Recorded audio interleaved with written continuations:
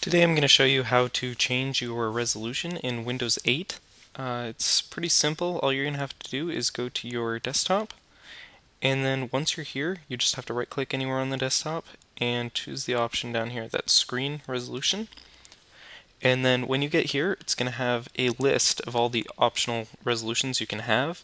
I'm running on a virtual machine that's why I have so many weird ones. Uh, usually you're going to have like your highest one is the one that you're going to want to set it at. If you have a really good laptop, then it's going to be up here, 1000, oh, 1920 by 1080. If you have a little like a medium quality laptop, then it's probably going to be somewhere around 1440 by 900 or 1366 by 768. So, uh, and if you have like a little netbook, then it's probably going to be about 1024 by 768. But usually uh, most laptops, there's the highest one that's in this list is going to be the one that you want to use. Um, and then once you selected it, just hit OK, and it'll automatically apply it.